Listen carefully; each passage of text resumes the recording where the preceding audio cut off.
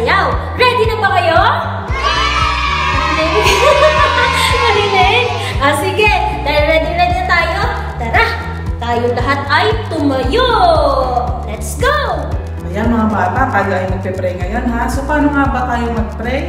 Pa-ID, maglilikot, kamay ititiklop, uloy itutungo, matay ipipikit, at tahimik na mananalangin. Panginoon, sa iyo. Maraming maraming salamat po. At muli kami po ay matututo Panginoon ngayong araw. Kayo po ang manguna Lord sa lahat ng mga bata na nasa kanilang mga tahanan. Ah, lahat Lord na pag-aaralan namin ngayong araw, hindi po nila makakalimutan hanggang sa kanilang pagtanda, Panginoon. Maraming maraming salamat po. Sa pangalan ni Jesus, Amen. Hello mga bata! Magandang umaga! Oh, ready na ba kayo umawit at magpuri para kay Jesus? Bago ang lahat, kailangan muna natin humanap ng partner. Pwede mong yakagin si mama, si papa mo, o kaya yung katabi mo na lang. Sabihin mo sa kanya, tayo na lang yung mag-partner. At syempre, hindi rin ako magpapahuli. Kasama ko nga pala si Teacher Erika para maging partner ko. At dahil ready na tayo, tara nang umawit!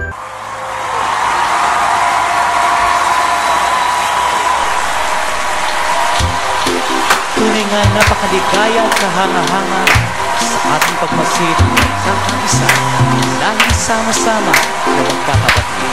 Bawat isa sa atin, ating kamayan ng bawat isa ng batiin. Kamusta ka na? Kamusta ka na? Alam ko sa iyong mata na ika'y masaya Muli na naman tayong magkasama-sama Upang umawit magpuri sa kanya'y Kamusta ka na? Kamusta ka na? Kamusta ka na? Puso ko'y nagagalak na ika'y makita. Sarap ng feeling. Sarap ng feeling Di ba pagsama-sama natin? Puri siya. Pinupuri siya. Kay sarap ng feeling ko Dahil ka'y kasama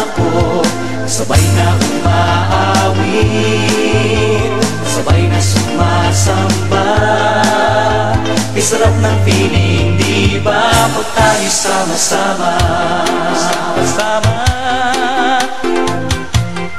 Muli po nating awitin ng buong puso Kamusta ka na?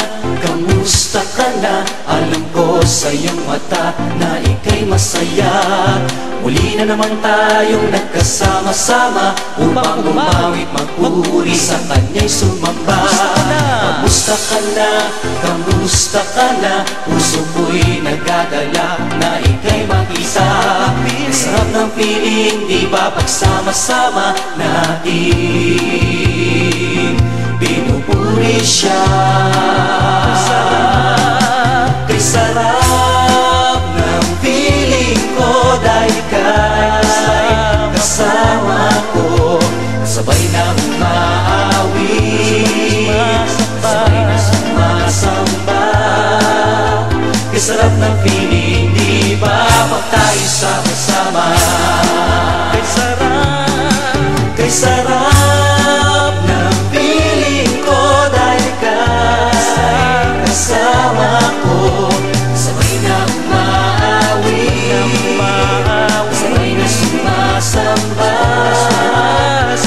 Kay sarap ng feeling Di ba pag tayo sama-sama Sarap ng feeling Kay sarap ng feeling Di ba pag tayo sama-sama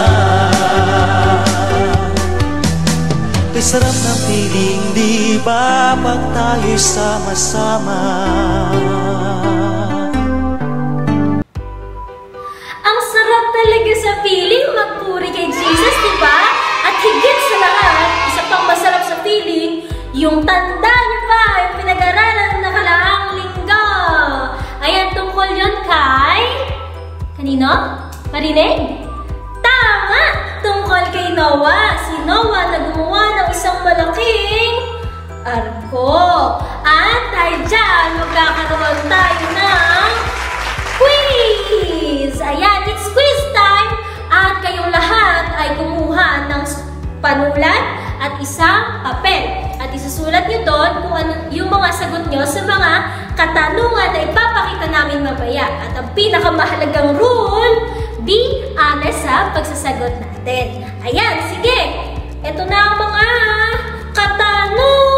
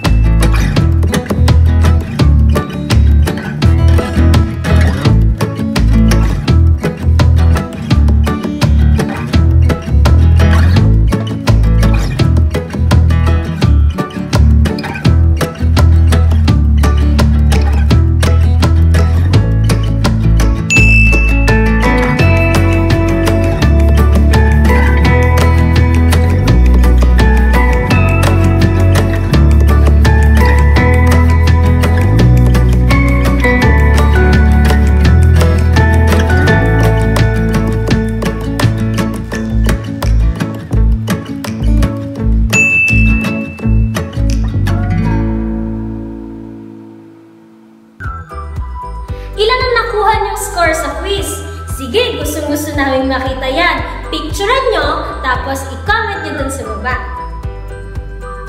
Ngayong araw, may bago naman tayong pag-aaralan.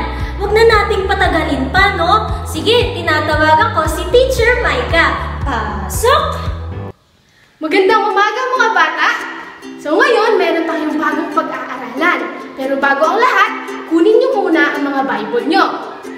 Kunin niyo na! Go, go, go, go! Kunin niyo na! Buksan niyo ang mga Bible niyo sa Awit 1 verse 6. Inuulit ko, Awit 1 verse 6. Kung hindi niyo pa nakikita, pwede kayong magpatulong kila mami, kila daddy, kila nanay, o kaya kay tatay. Tulungan kayo na buksan ang ating Bible. Okay ba? So, nabuksan niyo na ba? Nabuksan niyo na ba? Okay, kung nabuksan niyo na, basahin natin, laksan natin ha. Sa taong matuwid, si Yahweh ang pumapatnubay, ngunit ang taong masama, kapahamakan ang hantungan. Awit 1.6 Ano nga ba ang ibig sabihin nito mga bata? Naisip niyo ba? Katulad ni Noe, siya lamang ang nakitang matuwid ng Diyos. Kaya naman, siya ang napiling utusan ng Diyos na gumawa ng malaking arko. At alam niyo ba ang ginawa ni Noe? Sumunod siya. Kaya naman, ang kanyang buong pamilya at siya mismo si Noe ay niligtas, pinagnubayan ng Diyos sa matinding baha. Ngunit, ang mga taong hindi naniwala at ang mga taong masasama ay napahamak dahil sa hindi nila paniniwala sa Diyos at kay Noe. Ganun din naman sa buhay natin, palagi nating gawin ang mabuti. may nakakakita man o wala, mas piliin natin ang gumawa ng tama. Naintindihan niyo ba mga bata ang pinag-aaralan natin ngayong araw? Hmm, I think oo ang sagot nyo. Siyempre dapat oo. Pero ngayon, meron tayong gagawin. Nai-excite na ako sa gagawin natin ngayon. Kasi, dahil meron tayong memory verse, ibig sabihin nun kakabisaduhin natin ng mga yon. Okay, ready na ba kayo? Dapat ready na kayo, ha? Awit 1.6 Sa taong matuwid, si Yahweh ang pumapatnubay. Ngunit ang taong masama, pahamakan ang hantungan. Ngayon, alisin natin ang salitang taong matuwid. Handa na ba kayo? Okay. Awit 1.6 Sa Si Yahweh ang pumapatnubay, ngunit ang taong masama kapahamakan ang hantungan. Sunod naman nating alisin ay ang taong masama. Okay, ready na kayo? Sige. Sa Si Yahweh ang pumapatnubay, ngunit ang kapahamakan ang hantungan. Okay, ang galing. Sige, sunod naman nating alisin ay ang hantungan. Ready na kayo? Madami-dami na to. Okay, sige. Awit 1.6 Sa Si Yahweh ang pumapatnubay, ngunit ang kapahamakan ang Okay, ang galing naman! Sunod naman nating alisin ay si Yahweh ang pumapatnubay. Okay, ready na kayo?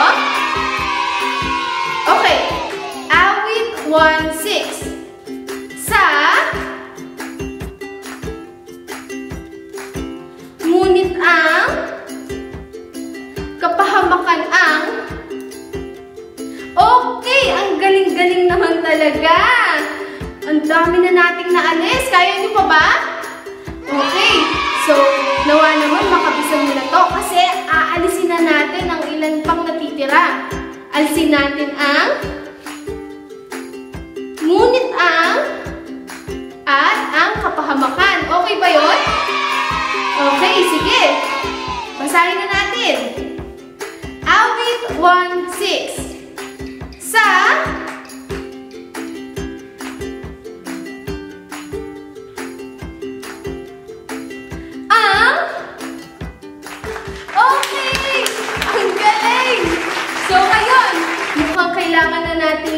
makabisa talaga to kasi wala na tayong titingnan pa. Dahil kayo na lang mismo ang magsasalita, wala na kayong tinginan. Okay ba? Okay, sige. Awit 1.6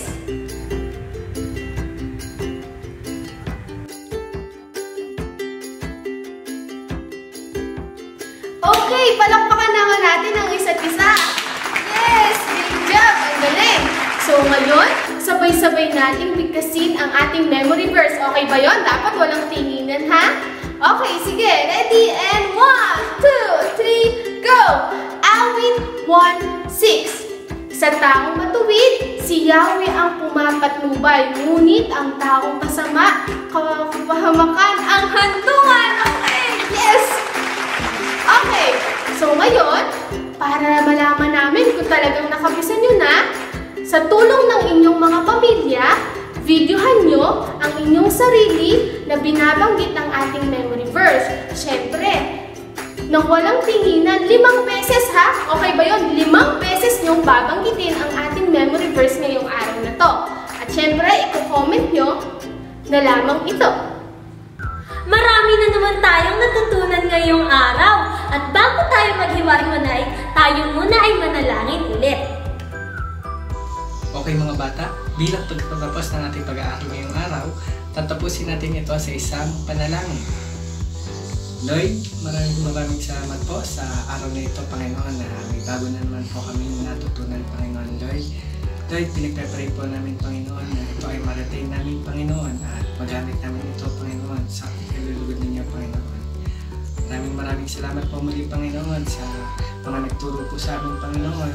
Bigyan niyo po sila ng kalakasan, Panginoon, para po mas marami pa po kami matutunan sa mga susunod na araw, Panginoon. Maraming maraming salamat po. Sa ngalan ni Jesus. Amen. Magkita-kita ulit tayo sa susunod na linggo ha. Bawal umaksen. Paalam!